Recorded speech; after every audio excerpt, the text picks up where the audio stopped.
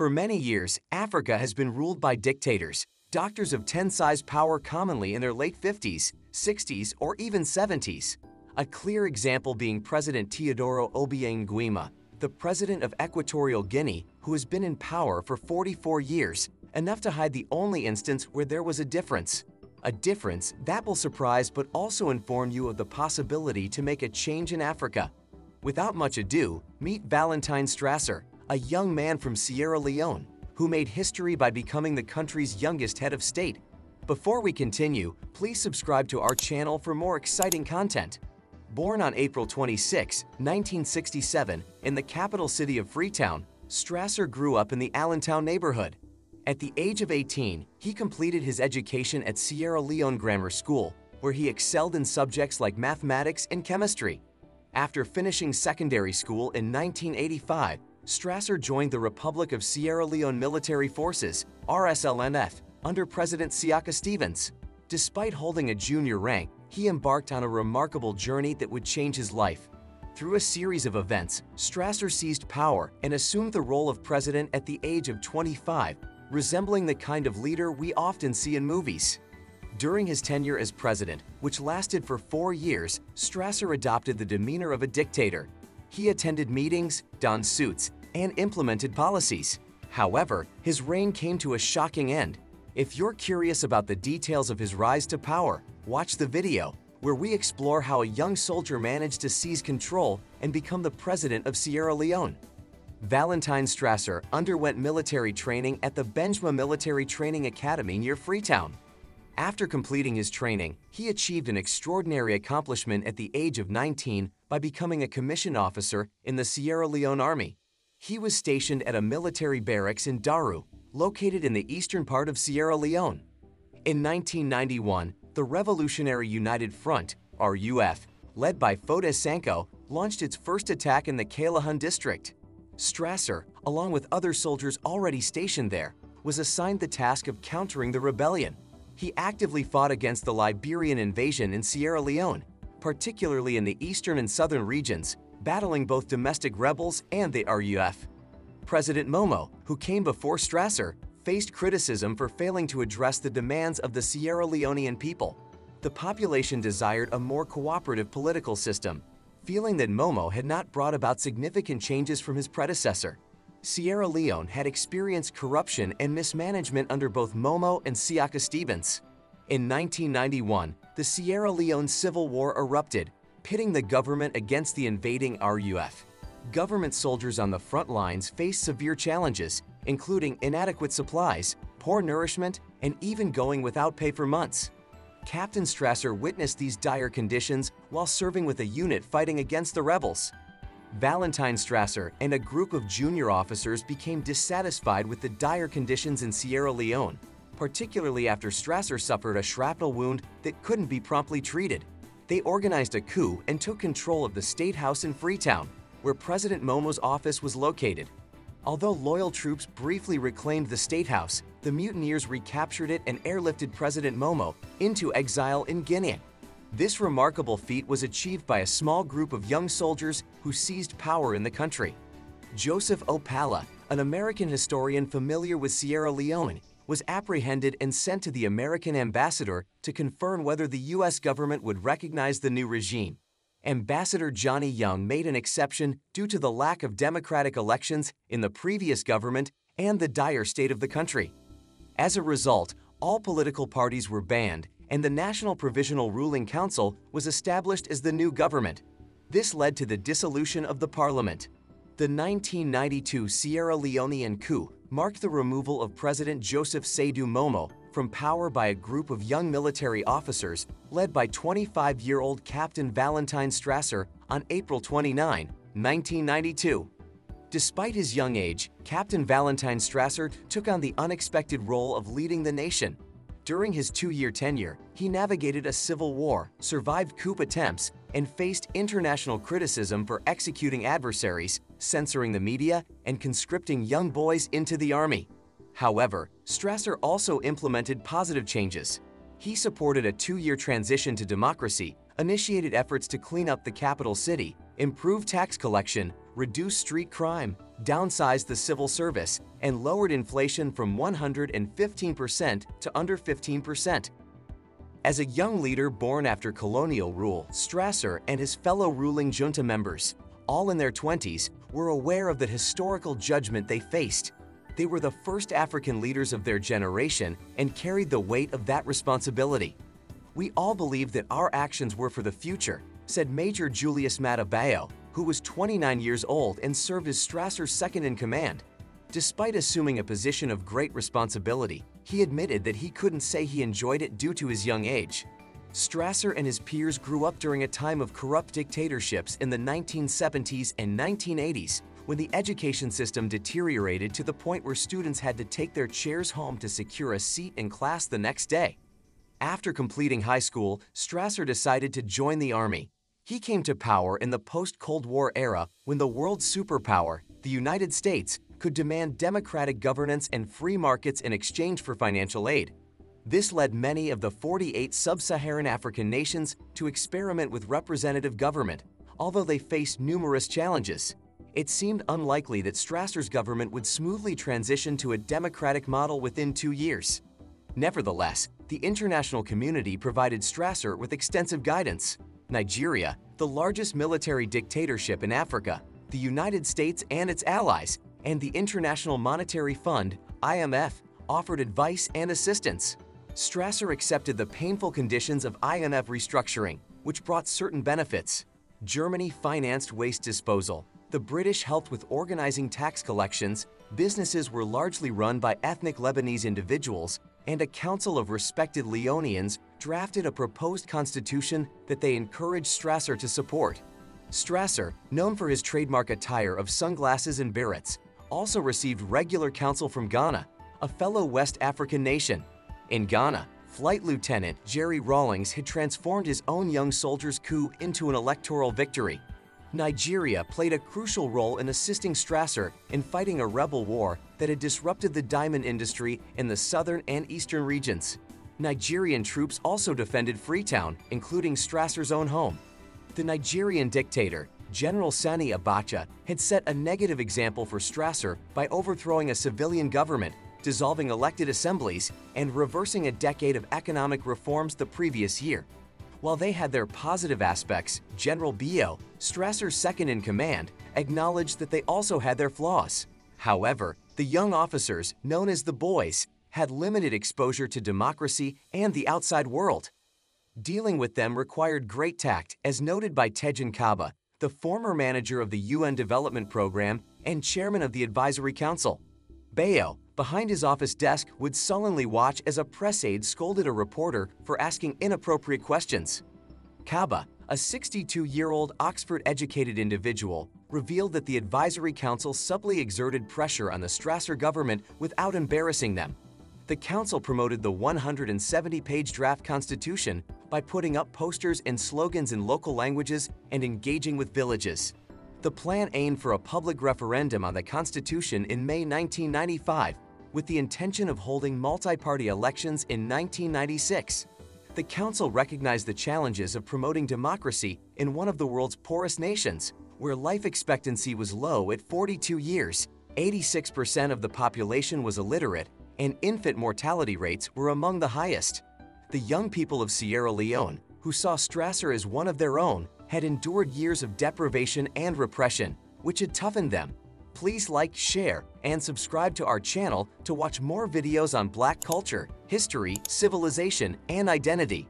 Moving on, Paul Kamara, a 36-year-old human rights activist and journalist who had been imprisoned three times by Strasser's predecessor and once by Strasser himself, explained that the harsh conditions of survival over the past 30 years had created a situation where people were focused on staying alive rather than democracy. Strasser actively avoided the press and declined all interview requests. Those who interacted with him regularly noticed his increasing isolation and reduced involvement in daily decision-making. Despite his tendency to be reclusive, Strasser remained popular in Sierra Leone a West African nation with a population of 4.5 million at that time. The country had a unique history, established by freed slaves from Britain, the United States, and Jamaica two centuries ago. While Sierra Leone was undeniably beautiful with its pristine ocean beaches and mist-covered mountains, poverty was a significant challenge. European tourists visited the beachfront hotels and enjoyed leisurely walks along the sandy shores. Freetown, the coastal capital, presented a paradox. It was a clean city but disorganized, with colonial-era buildings in various states of decay. The narrow dirt streets were constantly congested and occasionally closed for Strasser's motorcade. Sierra Leone gained independence from Britain in 1961 but experienced a prolonged decline marked by coups and contested elections, resulting in numerous casualties. In 1985, Major General Joseph Momoh assumed control, leading the nation into perpetual fuel shortages, food scarcities, and widespread corruption that diverted 90% of the diamond production. In 1991, a rebellion erupted, displacing 1.5 million people from their homes. Momoh's inability to pay or feed his soldiers caused discontent among junior officers, who became agitators. By May 1992, the situation had deteriorated to such an extent that the United Nations designated Sierra Leone as the most inhospitable place to live. A few days later, nine junior officers and a convoy of 60 soldiers entered town, demanding their pay at gunpoint. Momoh, who had become deeply unpopular and had little support left, fled the country.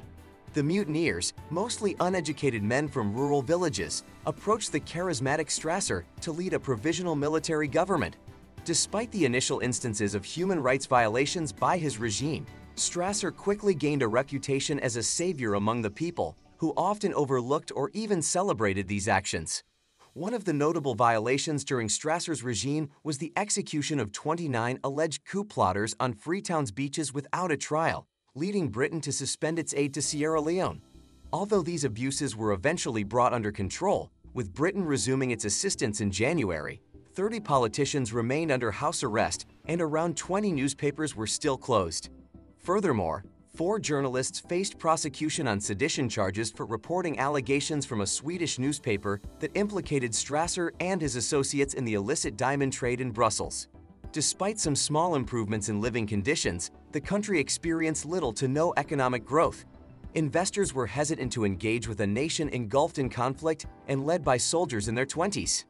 John Benjamin, the only civilian member of the ruling junta and the sole member over the age of 29, staunchly defended the young government's stability, stating that they had matured and took their role seriously. He believed they were determined not to fail and were aware of their place in history. However, Strasser's era came to an end in 1996 when he was ousted in another military coup. This time, his fellow members of the NPRC were dissatisfied with his handling of the peace process.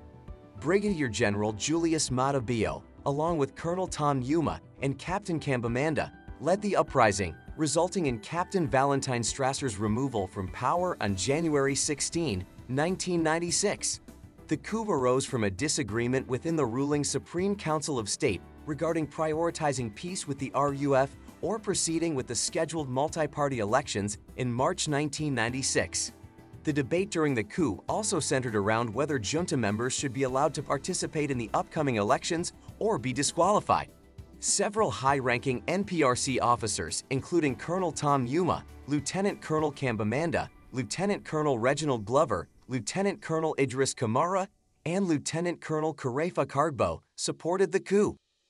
Captain Valentine Strasser, who was the leader of the NPRC and the military head of state of Sierra Leone at the time, was apprehended at gunpoint by his own military bodyguards, who were responsible for his protection. He was quickly taken into exile in a military helicopter bound for Conakry, the neighboring country of Guinea.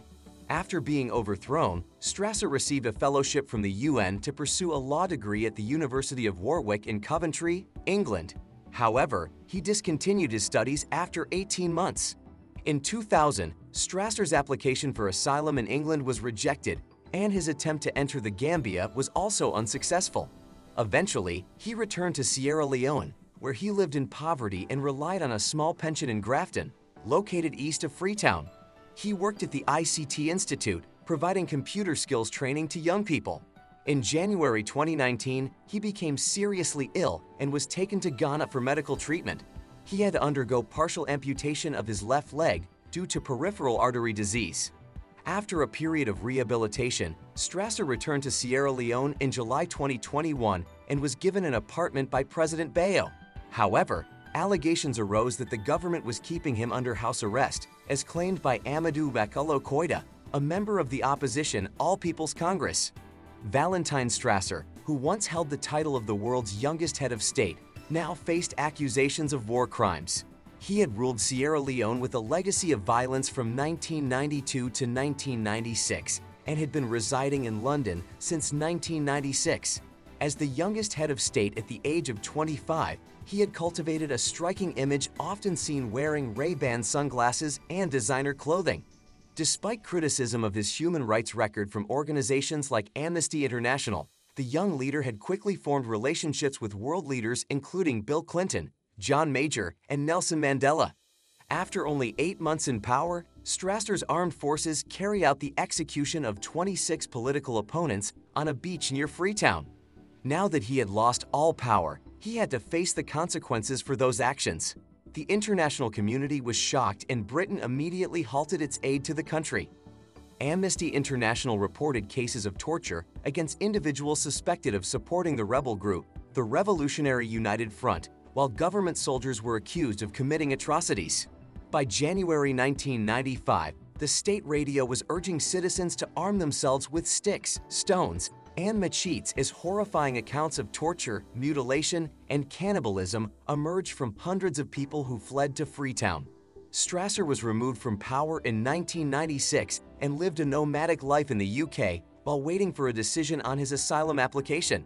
He gave up his studies in law at Warwick University as he had initially entered the country on a student visa. An acquaintance of Strasser in London mentioned that it was still uncertain what his future held as he had support in Sierra Leone and any attempts to bring him back would require careful consideration. Strasser's plea for asylum in the United Kingdom, where he had resided since 1996, was rejected, forcing him to leave the country. As a result, Strasser faced worsening financial struggles without a reliable source of income. During this period, a poignant incident gained widespread attention when he was seen in a public place begging for food. This symbolized his dramatic fall from being a head of state to a state of extreme poverty, capturing the interest of the media and the public. Strasser's life had taken a drastically different direction from his days of extravagant image and leadership style. The images of him seeking food serve as a stark reminder of the challenges faced by leaders who experience a downfall from their once prominent positions, eliciting a mix of compassion and criticism from various sources. Later, President Bayo of Sierra Leone, who had previously ousted Strasser from power, offered him a house to help him overcome significant challenges, including financial difficulties and health issues. The purpose of providing him with this house was to give him a place to live and support him as he tried to rebuild his life and family.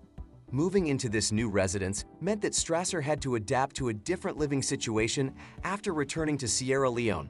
However, there were allegations that he might have been under house arrest, suggesting that his freedom might have been limited. The specific details of Strasser's life in the house, as arranged by President Bayo, depended on the agreed terms and any restrictions imposed by the government.